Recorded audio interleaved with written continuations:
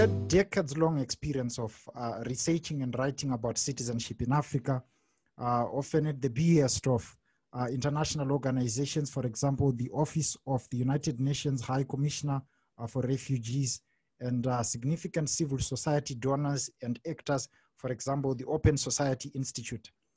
Can you just uh, briefly tell us about your experiences with research? what major observations did you make and how are issues of state succession handled in Africa and what can and should be done in relation to access to citizenship for refugees? Wow, three big questions there.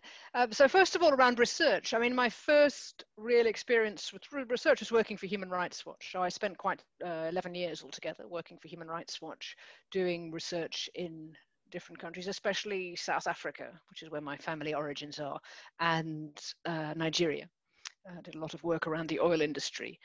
Uh, but in relation to nationality and citizenship, uh, that I started doing that work with the Open Society Foundations, uh, and it was it was over the course of many years, in which a lot of it was actually going to meetings and being involved in discussions and uh, engaging with work that African scholars had done as well uh, and then trying to pull this into into one place. For uh, UNHCR, UN High Commissioner for Refugees, I've done a lot of research, a series of reports about statelessness in different African regions. So West Africa, East Africa, Southern Africa.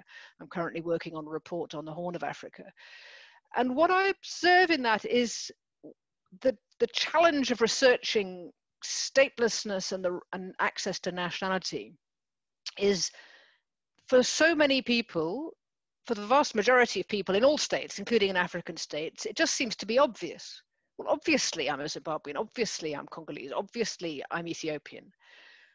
And if you are a member of, you know, a majority ethnic group and your parents were married and your birth was registered and you live in the same region as where you know you, as both your parents and everybody knows you then it is even if you're even if you don't have documents it probably is obvious that you are the nationality you believe yourself to be.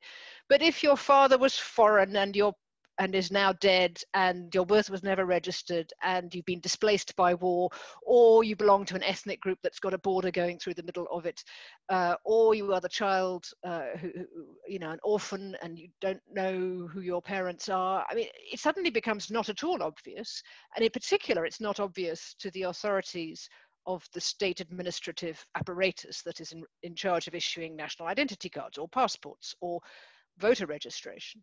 And so at that point, you may believe yourself to be a citizen and not to be a citizen anywhere else, but proving it becomes a big challenge. And the challenge of proof is becoming more and more important because where, you know, whereas 30, 40 years ago, it was totally possible to live in many countries, including in European countries, without an identity document. It's becoming much, much, much more difficult to do that. And there's a big push to improve identity documents in Africa, such that even though many people still don't have documents, it's becoming more and more difficult to exist without a document.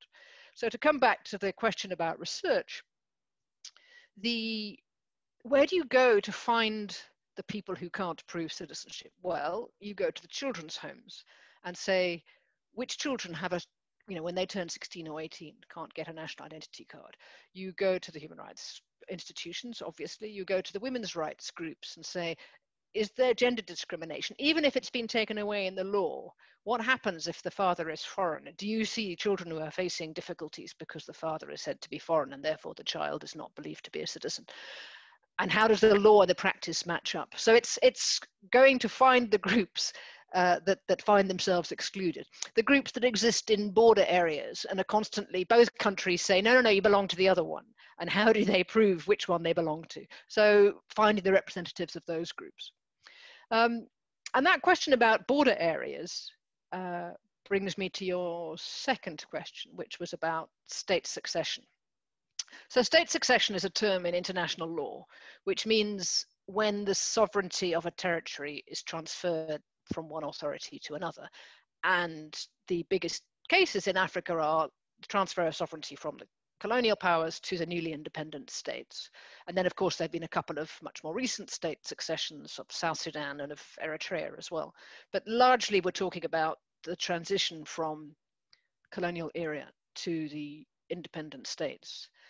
And there we see that while the colonial authorities freely moved people around to work on plantations, if not absolutely forced labor coerced by hut taxes and similar questions, uh, or people, you know, moved about because they were following economic opportunities. And you have very large numbers of people who, while they were born in the country, and maybe their parents were also born in the country, their historical origins come from somewhere else. And at independence, their incorporation into the citizen body of the new states was not at all guaranteed.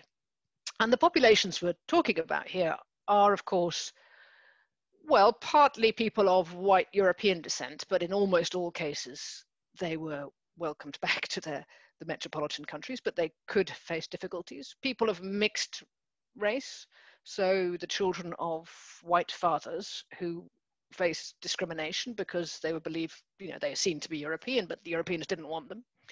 People of Asian descent, people of Lebanese or Middle Eastern descent, all of those, but actually much more importantly, people of other African descent. Um, so if one looks in Zimbabwe, people of Zambian, Mozambique, and Malawian descent who'd been brought in to work on farms and mines. In Cote d'Ivoire, people from uh, Burkina Faso, especially, but also Mali, Guinea, working on cocoa and coffee plantations. In Congo, people of Burundian and uh, Rwandan descent working on plantations in eastern Congo. And so the status of these populations is, you know, has remained you know, a key point of conflict in a number of African countries. Uh, and that's, that's, you know, how was their status resolved on state succession and how are they incorporated into the body since then has remained a, a critical political problem in, in many African countries.